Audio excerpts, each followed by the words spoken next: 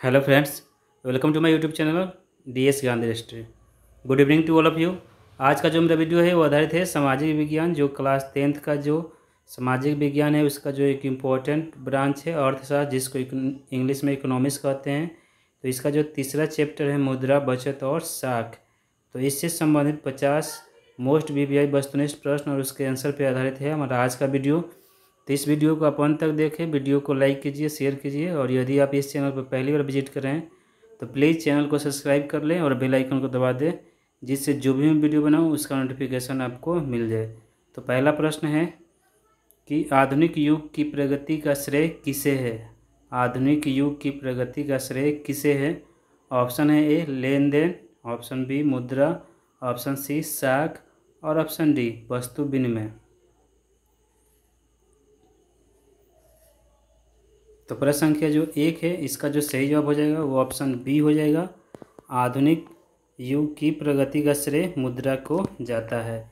प्रश्न संख्या दो है, मुद्रा के कार्य हैं। मुद्रा के कार्य हैं करेंसी के कार्य है। ऑप्शन है ए मापन। बी संचयन।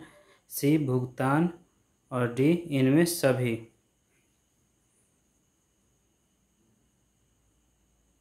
तो प्रश्न संख्या दो का जो सही जवाब होगा, वो हो जाएगा ऑप्शन डी इनमें सभी मतलब मुद्रा का कार्य मापन है, संचयन है और भुगतान भी है।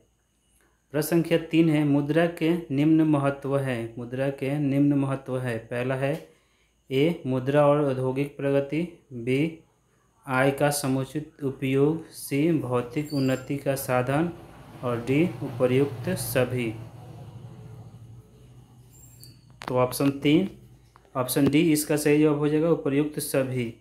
मुद्रा के महत्व हैं।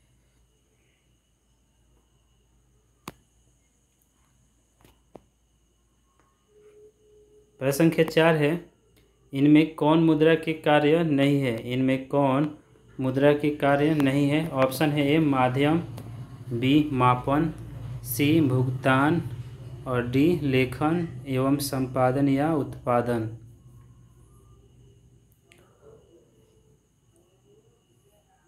प्रश्न संख्या जो चार है, इसका जो सही जवाब हो जाएगा ऑप्शन डी हो जाएगा। लेखन, संपादन या उत्पादन मुद्रा के कार्य नहीं है। प्रश्न संख्या पाँच है, मुद्रा का प्राथमिक कार्य कौन सा है? मुद्रा का प्राथमिक कार्य कौन सा है? ऑप्शन ए मूल का संचयन। ऑप्शन बी विलंबित भुगतान का मान। ऑप्शन सी मूल्य का हस्तांतरण। और ऑप्शन डी विनिमय का माध्यम।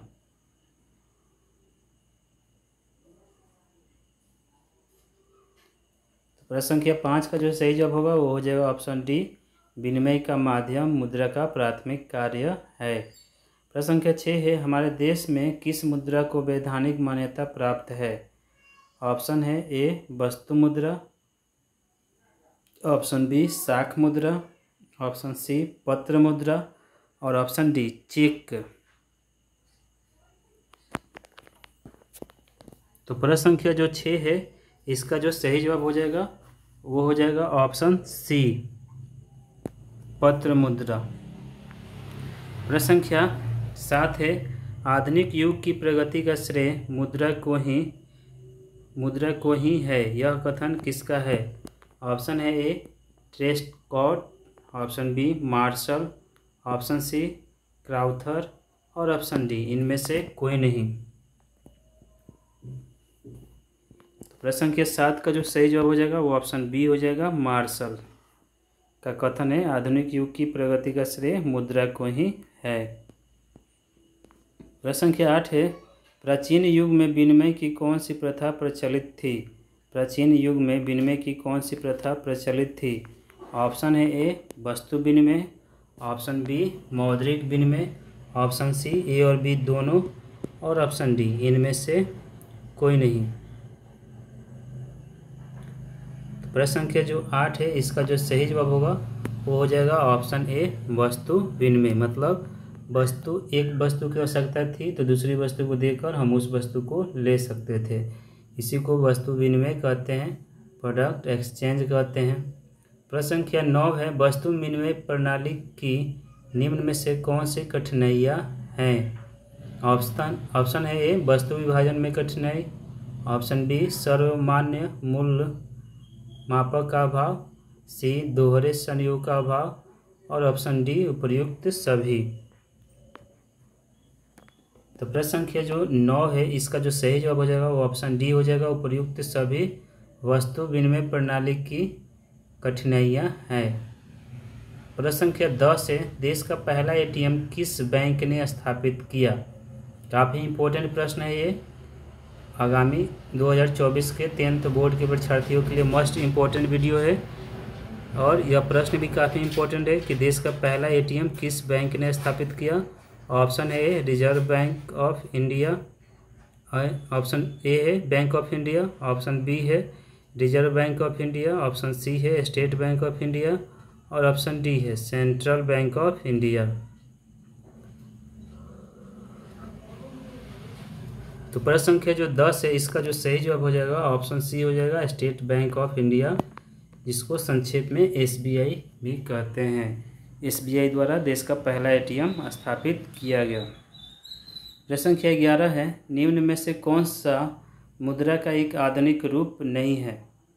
ऑप्शन है ए मुद्रा बी जमा सी ड्राफ्ट और डी इनमें से कोई नहीं।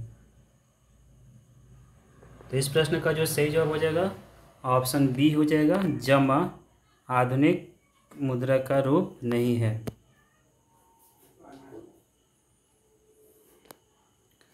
प्रश्न संख्या बारह है, प्राचीन काल में किस धातु का मुद्रा के रूप में सर्वाधिक प्रयोग हुआ? प्राचीन काल में किस धातु का मुद्रा के रूप में सर्वाधिक प्रयोग हुआ? ऑप्शन है ए, लोहा का, बी, तांबा का सी, पीतल का और डी, चांदी और सोना का। तो इस प्रश्न का जो सही जवाब हो जाएगा, वो हो जाएगा ऑप्शन डी, चांदी और सोना का प्राचीन काल में मुद्रा के रूप में सर्वाधिक प्रयोग हुआ। Option D is correct answer. Question number तेरह है, निम्नांकित में कौन विधि ग्राह्य मुद्रा है? निम्नांकित में कौन विधि ग्राह्य मुद्रा है? ऑप्शन है ए, चेक। ऑप्शन बी है ड्राफ्ट। ऑप्शन सी है दस रुपये का नोट और ऑप्शन डी है इनमें सभी। तो इस प्रश्न का जो सही जवाब हो जाएगा, वो हो जाएगा ऑप्शन सी, दस रुपये का नोट ग्राह्य मुद्रा है। प्रश्न संख्या चौदह है, आजकल मुद्रा का कौन सा रूप अधिक प्रचलन में है? आजकल मुद्रा का कौन सा रूप अधिक प्रचलन में है? ऑप्शन है ए, धात्विक मुद्रा, ऑप्शन बी, सोने के सिक्के ऑप्शन सी, पत्र मुद्रा और ऑप्शन डी, उपयुक्त सभी। तो इसका जो सही जवाब होगा, वो हो जाएगा ऑप्शन सी, पत्र मुद्रा पत्र मुद्रा आजकल सर्वाधिक प्रचलन में है। प्रश्न संख्या पंद्रह है, भारत की मुद्रा का नाम क्या है? भारत की मुद्रा का क्या नाम है? ऑप्शन है ए, रुपया, बी, डॉलर, सी, टका और डी, दिनार।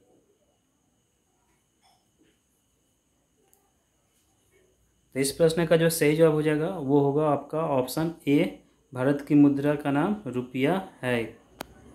Indian currency is rupees question number सोलह है। बांग्लादेश की मुद्रा का क्या नाम है? बांग्लादेश की मुद्रा का क्या नाम है? ऑप्शन है ए रुपया बी डॉलर सी टका और डी दिनार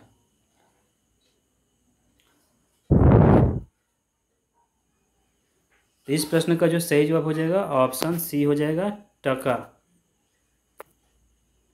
प्रश्न संख्या सत्रह है। प्राचीन, मुद्रा का प्राचीनतम रूप है। मुद्रा का प्राचीनतम रूप है।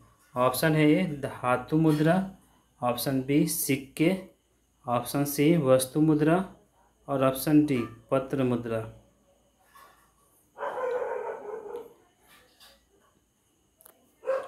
तो इस प्रश्न का जो सही जवाब हो जाएगा, वो हो जाएगा ऑप्शन सी वस्तु, मुद्रा। प्रश्न संख्या अठारह है, मुद्रा विनिमय का क्या है?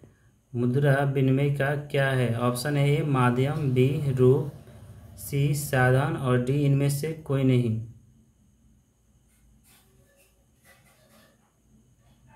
तो इस प्रश्न का जो सही जवाब हो जाएगा ऑप्शन ए हो जाएगा, माध्यम, मुद्रा विनिमय का माध्यम है प्रश्न संख्या उन्नीस है।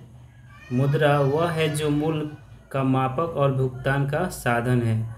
मुद्रा वह है जो मूल का मापक और भुगतान का साधन है। ऑप्शन, यह कथन किसका है? ऑप्शन से A, Seligman. Option B, Colburn. Option C, Crowther. और ऑप्शन डी नैप का। तो इस प्रश्न का जो सही जवाब हो जाएगा वो होगा ऑप्शन बी यह कथन कोलवर्न का है। मुद्रा वह है जो मूल का मापक और भुगतान का साधन है। प्रश्न संख्या बीस है कि किस धुरी के चारों तरफ़ संपूर्ण आर्थिक विज्ञान चक्कर काटता है? किस धुरी के चारों तरफ़ संपूर्ण आर्थिक विज्ञान चक्कर काटता है? ऑप्शन है ए, उत्पादन, बी आई सी, मुद्रा, और डी, लाभ। तो इस प्रश्न का जो सही जवाब होगा, वो हो जाएगा ऑप्शन सी मुद्रा। के चारों तरफ़ आर्थिक विज्ञान चक्कर काटता है। प्रश्न संख्या इक्कीस है, निम्न में से कौन साख पत्र के अंतर्गत नहीं आता?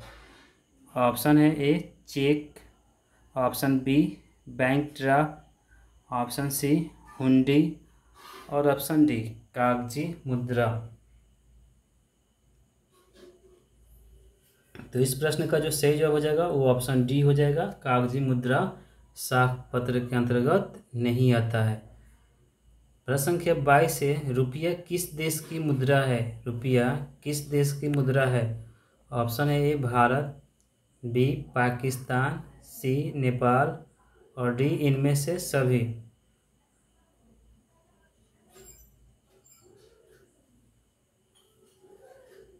तो इस प्रश्न का जो सही जवाब हो जाएगा ऑप्शन डी हो जाएगा। इनमें से सभी देशों की जो मुद्रा है, वो रुपया है। प्रश्न संख्या तेईस है। निम्नलिखित में से साख पत्र के अंतर्गत कौन आता है? ऑप्शन है ए चेक ऑप्शन बी है बैंक ड्राफ्ट ऑप्शन सी है यात्री चेक और ऑप्शन डी इनमें से सभी। तो प्रश्न संख्या जो तेईस है, इसका जो सही जवाब होगा वो हो जाएगा आपका ऑप्शन डी। इनमें से सभी साख पत्र के अंतर्गत आते हैं। चेक है, बैंक ड्राफ्ट है और यात्री चेक है। प्रश्न के चौबीस है। एक रुपये का नोट जारी करता है। एक रुपये का नोट जारी किया जाता है। ऑप्शन है A reserve bank of India के द्वारा। ऑप्शन बी है केंद्र, केंद्रीय सरकार के द्वारा।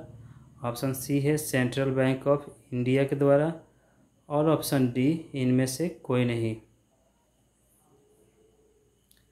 तो इस प्रश्न का जो सही जवाब हो जाएगा, वो हो जाएगा ऑप्शन डी इनमें से कोई नहीं, क्योंकि एक रुपये का नोट वित्त मंत्रालय के जो सचिव होते हैं, उनके द्वारा जारी किया जाता है।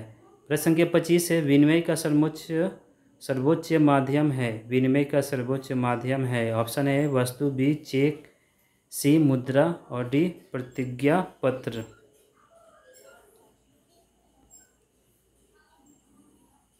तो प्रश्न संख्या जो पच्चीस है, इसका जो सही जवाब हो जाएगा, वो हो जाएगा आपका ऑप्शन सी विनिमय का सर्वोच्च माध्यम मुद्रा है। प्रश्न संख्या छब्बीस है साख का संबंध है। साख का संबंध है। ऑप्शन है ए गरीबी से।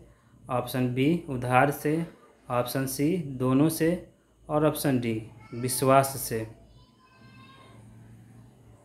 तो प्रश्न संख्या जो छब्बीस है इसका जो सही जवाब हो जाएगा ऑप्शन सी हो जाएगा। दोनों से, गरीबी और उधार से संबंधित है साख प्रश्न संख्या सत्ताईस है? निम्नलिखित में कौन प्लास्टिक मुद्रा के रूप में प्रचलित है? काफ़ी इंपॉर्टेंट प्रश्न है। आगामी 2024 के टेंथ बोर्ड परीक्षार्थियों के लिए कि निम्नलिखित में कौन प्लास्टिक मुद्रा के रूप में प्रचलित है? Option A cheque option B draft option C कागज़ी नोट. और ऑप्शन डी एटीएम कार्ड।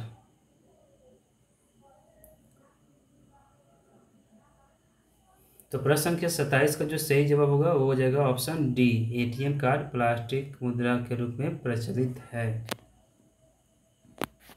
प्रश्न संख्या अट्ठाईस से किस धातु का मुद्रा के रूप में सर्वाधिक प्रयोग हुआ है? किस धातु का मुद्रा के रूप में सर्वाधिक प्रयोग हुआ है?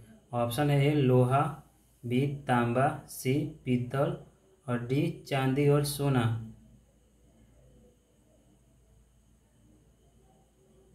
तो इस प्रश्न का जो सही जवाब हो जाएगा, ऑप्शन डी हो जाएगा चांदी और सोना का प्रयोग मुद्रा के रूप में सर्वाधिक हुआ है। प्रश्न के उनतीस है, निम्नलिखित में कौन सी मुद्रा संयुक्त राज्य अमेरिका में प्रचलित है? मतलब संयुक्त राज्य America United State of America की मुद्रा क्या है? ऑप्शन है ए, रियाल, बी, दिनार, सी, पौंड और डी, डॉलर।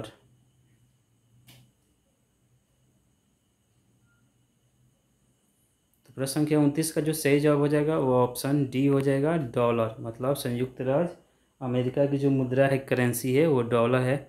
प्रश्न संख्या तीस है, वस्तु विनिमय प्रणाली की मुख्य कठिनाई थी। ऑप्शन है ए, आवश्यकताओं के दोहरे संयोग का अभाव। ऑप्शन बी मूल्य मापन की कठिनाई ऑप्शन सी दोनों और ऑप्शन डी इनमें से कोई नहीं।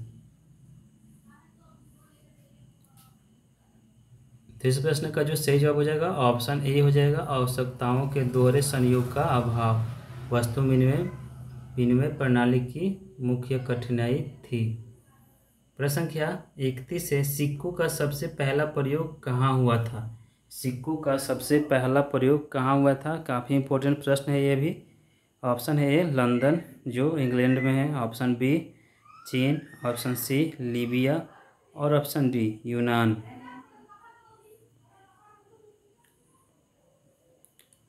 तो प्रश्न संख्या जो इकतीस है, इसका जो सही जवाब हो जाएगा, ऑप्शन सी हो जाएगा, लीबिया में सर्वप्रथम सिक्कों का प्रयोग हुआ था। प्रसंख्या बत्तीस है, विनिमय के कितने रूप है? विनिमय के कितने रूप हैं? ऑप्शन है ए, दो, बी, तीन, सी, चार और डी, इनमें कोई नहीं। तो इस प्रश्न का जो सही जवाब हो जाएगा, ऑप्शन ए हो जाएगा, विनिमय के दो रूप हैं, वस्तु विनिमय और मुद्रा। प्रश्न संख्या तैंतीस है, रुपये का नया प्रतीक है। काफ़ी इम्पोर्टेंट प्रश्न है ये भी, रुपये का नया प्रतीक है। ऑप्शन है ए, रू। ऑप्शन बी र। Option C R. और ऑप्शन डी र। तो प्रश्न संख्या जो तैंतीस है, इसका जो सही जवाब हो जाएगा ऑप्शन डी र। प्रश्न संख्या चौंतीस है, शाख के मुख्य आधार होते हैं। शाख के मुख्य आधार होते हैं। ऑप्शन ए रीढ़ की राशि। ऑप्शन बी, समय। ऑप्शन सी, व्यक्ति का चरित्र। और ऑप्शन डी, तीनों उपयुक्त तीनों। तो जो प्रश्न संख्या चौंतीस है, इसका जो सही जवाब होगा, ऑप्शन डी हो जाएगा उपयुक्त तीनों, शाख के मुख्य आधार है रीढ़ की राशि, समय और व्यक्ति का चरित्र। प्रश्न संख्या पैंतीस है। किसने कहा था कि कर्ज जमा की संतान है और जमा कर्ज की संतान है? ऑप्शन से ए, कैंस। ऑप्शन बी, मार्शल ने। ऑप्शन सी, पीगू ने। और ऑप्शन डी, काउथर ने। तो प्रश्न संख्या पैंतीस का जो सही जवाब हो जाएगा, ऑप्शन ए हो जाएगा, केंस ने कहा था कि कर्ज जमा की संतान है और जमा कर्ज की संतान है। प्रश्न संख्या छत्तीस है आय और उपभोग के अंतर को क्या कहते हैं? आय और उपभोग के अंतर को क्या कहते हैं? इंपॉर्टेंट प्रश्न है ये। ऑप्शन है ए बचत बी मुद्रा सी व्यय और डी इनमें से कोई नहीं।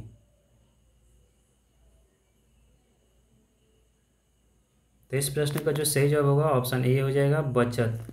आय और एवं उपयोग के अंतर को बचत कहते हैं। प्रश्न संख्या सैंतीस से काफ़ी इंपॉर्टेंट प्रश्न है। ये हंड्रेड परसेंट प्रश्न हंड्रेड परसेंट ये प्रश्न आएगा ज़रूर। कि प्रधानमंत्री नरेंद्र मोदी ने विमुद्रीकरण की घोषणा कब की? ऑप्शन है ए, आठ नवंबर 2016 ऑप्शन बी, आठ नवंबर 2017 ऑप्शन सी, सोलह नवंबर 2016 और ऑप्शन डी, सोलह नवंबर 2017 तो जो प्रश्न संख्या सैंतीस है इसका जो सही जवाब हो जाएगा, वो हो जाएगा ऑप्शन ए आठ नवंबर 2016 को प्रधानमंत्री नरेंद्र मोदी ने विमुद्रीकरण की घोषणा की डीमोड्रिटाइजेशन की घोषणा की, जिसके द्वारा पुराने 500 के नोट और हज़ार के नोट बंद कर दिए गए। प्रश्न संख्या अड़तीस है कि इनमें कौन शाख का आधार नहीं है? इनमें कौन शाख का आधार नहीं है? ऑप्शन ए, विश्वास ऑप्शन बी, शिक्षा। ऑप्शन सी, चुकाने की क्षमता। और ऑप्शन डी, ऋण की अवधि।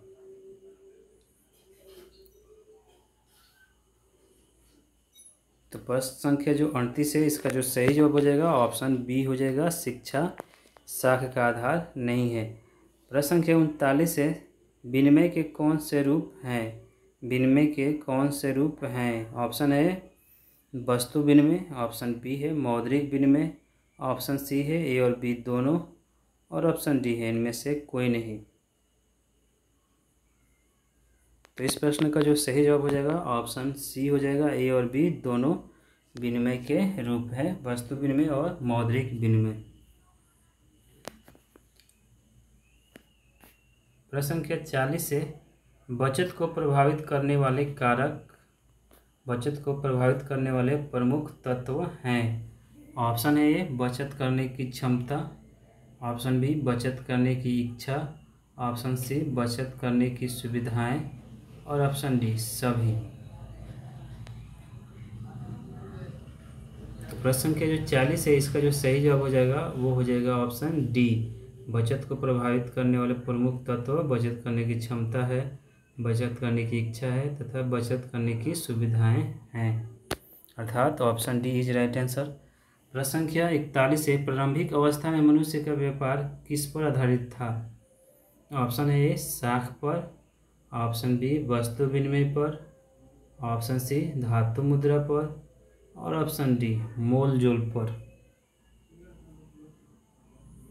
तो इस प्रश्न का जो सही जवाब हो जाएगा, वो हो जाएगा ऑप्शन बी प्रारंभिक अवस्था में मनुष्य का व्यापार मुख्य रूप से वस्तु विनिमय पर आधारित था। मतलब एक वस्तु लेकर हम दूसरे वस्तु को देते थे। मतलब कोई वस्तु की रिक्वायरमेंट है डिमांड है तो दूसरा वस्तु उसके बदले आपको देना होता था।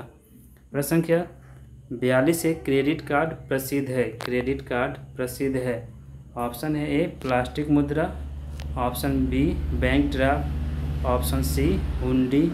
और ऑप्शन डी, कागज़ी मुद्रा।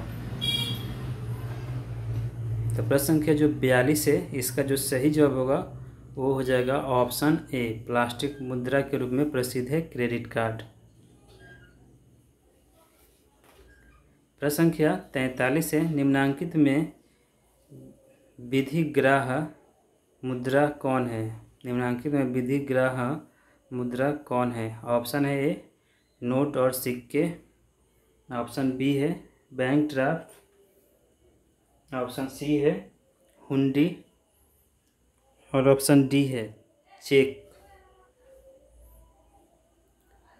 तो प्रश्न संख्या जो तैंतालीस है, इसका जो सही जवाब हो जाएगा ऑप्शन ए, नोट और सिक्के। प्रश्न संख्या चौवालीस है, मुद्रा के प्रयोग से किसको लाभ हुआ? मुद्रा के प्रयोग से किसको लाभ हुआ? ऑप्शन है उपभोक्ताओं को ऑप्शन बी, उत्पादकों को। ऑप्शन सी, ए और बी दोनों को। और ऑप्शन डी, इनमें कोई नहीं। तो प्रश्न संख्या जो चौवालीस है, इसका जो सही जवाब हो जाएगा, ऑप्शन सी हो जाएगा, ए और बी दोनों को। प्रश्न संख्या पैंतालीस से व्यवसायिक बैंकों द्वारा दिए जाने वाले ऋण को कहते हैं। व्यवसायिक बैंकों द्वारा दिए जाने वाले ऋण को कहते हैं। ऑप्शन है ए साख मुद्रा। ऑप्शन बी है बैंक मुद्रा, ऑप्शन सी है दोनों और ऑप्शन डी है इनमें कोई नहीं। तो प्रश्न के जो पैंतालीस है, इसका जो सही जवाब होगा, वो हो जाएगा आपका ऑप्शन सी, दोनों। व्यवसायिक बैंक के द्वारा दिए जाने वाले ऋण को साख मुद्रा और बैंक मुद्रा दोनों कहते हैं। प्रश्न संख्या छियालीस है, मुद्रा की वैधानिक परिभाषा किसने दी है? मुद्रा की वैधानिक परिभाषा किसने दी है? ऑप्शन है प्रोफेसर मार्शल ने। ऑप्शन बी, प्रोफेसर पीगू ने। ऑप्शन सी, प्रोफेसर नैप ने। और ऑप्शन डी, प्रोफेसर रॉबर्टसन ने। तो प्रश्न संख्या जो छियालीस है, इसका जो सही जवाब होगा, वो हो जाएगा आपका ऑप्शन डी। प्रोफेसर रॉबर्टसन ने मुद्रा की वैधानिक परिभाषा दी है। प्रश्न संख्या सैंतालीस है भारत में करेंसी नोट कौन जारी करता है? भारत में करेंसी नोट कौन जारी करता है? Option A, reserve bank of India. Option B है, केंद्रीय सरकार। ऑप्शन सी है, सेंट्रल बैंक ऑफ़ इंडिया। और ऑप्शन डी, इनमें से कोई नहीं।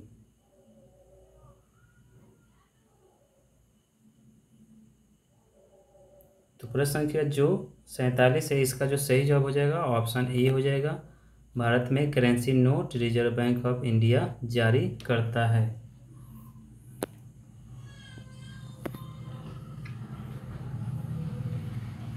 प्रश्न संख्या अड़तालीस है कि reserve bank of India, RBI की स्थापना हुई? ऑप्शन ए 1935 में, ऑप्शन बी 1936 में, ऑप्शन सी उन्नीस सौ सैंतीस में और ऑप्शन डी उन्नीस सौ अड़तीस में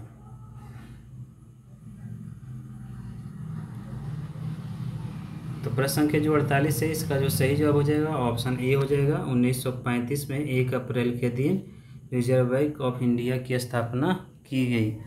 मतलब एक अप्रैल 1935 को reserve bank of India RBI की स्थापना हुई और वर्तमान में आरबीआई के जो गवर्नर हैं, वो हैं मिस्टर शक्तिकांत दास। प्रश्न संख्या उनचास से प्रतीक्षा पत्र है एक प्रकार का। ऑप्शन है ए, साख ऑप्शन बी, वस्तु विनिमय, ऑप्शन सी, मुद्रा, धातु मुद्रा, और ऑप्शन डी, मोल जोल। तो प्रश्न संख्या जो उनचास है, इसका जो सही जवाब हो जाएगा, वो होगा ऑप्शन ए, साख। प्रतीक्षा पत्र एक प्रकार का साख है। प्रश्न संख्या पचास है। इस वीडियो का अंतिम प्रश्न है ये, कि प्रश्न है, साख का एक पक्ष है। साख का एक पक्ष है। ऑप्शन है आय। ऑप्शन बी है, ऋणी। ऑप्शन सी है, व्यय। और ऑप्शन डी है, मुद्रा। तो प्रश्न संख्या जो पचास है, इस प्रश्न का जो सही जवाब होगा, वो हो जाएगा ऑप्शन बी, ऋणी। मतलब साख का एक पक्ष ऋणी है। तो फ्रेंड्स ये था हमारा आज का वीडियो, जो आधारित था क्लास टेंथ का जो सोशल साइंस है, सामाजिक विज्ञान है। उसका एक इम्पोर्टेंट ब्रांच है इकोनॉमिक्स जिसको अर्थशास्त्र कहते हैं। उसका जो तीसरा अध्याय है, जिसका नाम है मुद्रा, बचत और साख। तो इस चैप्टर से संबंधित पचास वी ऑब्जेक्टिव क्वेश्चन और उसके आंसर पर आधारित हमारा आज का वीडियो, जो आगामी 2024 के टेंथ बोर्ड परीक्षा के लिए काफ़ी भी, काफ़ी इम्पोर्टेंट है। वो किसी भी राज्य के परीक्षार्थी हो, बिहार यूपी झारखंड, दिल्ली, पंजाब या किसी भी अन्य राज्य के, उनके लिए मोस्ट इम्पोर्टेंट वीडियो है। तो आप इस वीडियो को देखें वीडियो को लाइक कीजिए शेयर कीजिए और यदि आप इस चैनल पर पहली बार विज़िट कर रहे हैं तो प्लीज़ चैनल को सब्सक्राइब कर लें और बेल आइकन को दबा दें, जिससे जो भी मैं वीडियो बनाऊँ, उसका नोटिफिकेशन आपको मिल जाए। तो thank you for listening and watching